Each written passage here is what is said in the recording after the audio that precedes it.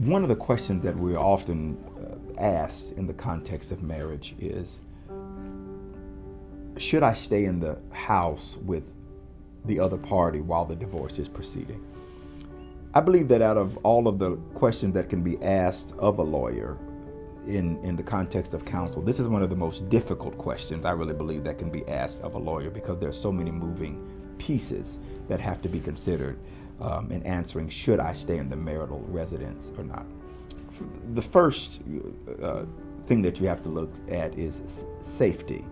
If there is a situation, a dynamic in the home where there is abuse, be it physical abuse, sexual abuse, mental abuse, those are personal considerations that are personal to the individual. I would never tell anyone to stay in a marital residence um, if they're being abused in any type of way. Your, your personal security and safety is of great importance to us as a law firm. It should be to any lawyer um, that would be representing you in a family law matter. So if, if, you, if your safety is um, at risk, I would advise you to consider uh, being elsewhere while the divorce proceeds.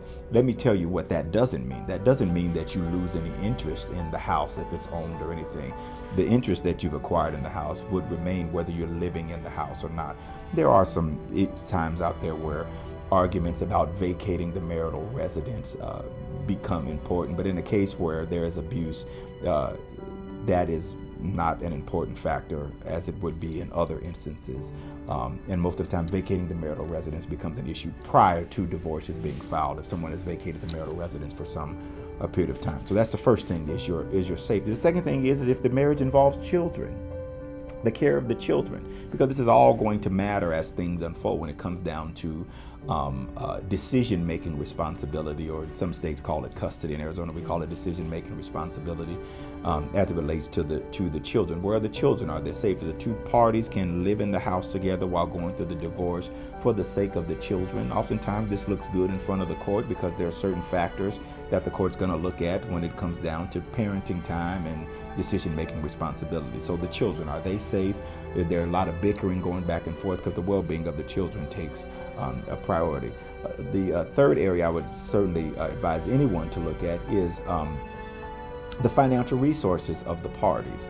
Uh, based on the standard of living. If you're used to living into a mini, used to living in a mini mansion in Scottsdale, uh, and you're leaving, and and the other party is the sole breadwinner, and you have no resources to move, well, you're not used to living in a Motel 6 or an extended stay. These are all things that you have to consider. But the financial resources, of course, do not outweigh um, your safety and security.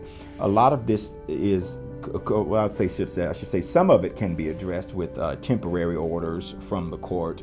Um, should you have to leave the marital residence and one party is the dominant um, uh, a breadwinner, if you will. The court can issue temporary orders, temporary spousal maintenance, temporary child support to make sure that you have enough resources to provide for yourself should you have to leave uh, uh, the marital residence. But this is something that you would certainly want to uh, talk with your lawyer about, and it's important that your lawyer is not only interested in the legal uh, uh, matters and underpinnings of the court, but they have an understanding and a grasp of life, and that this is your life, it's your family, it's your children. This is where you've raised your children, and someone that's empathetic and sympathetic to the entire situation that could counsel you accordingly, and an experienced, compassionate uh, attorney that cares about their clients would do just that. And so uh, if, I would urge you to speak with one of our lawyers or some lawyer that could walk you through that process with a great degree of grace and wisdom, uh, but also representing you as it relates to the law.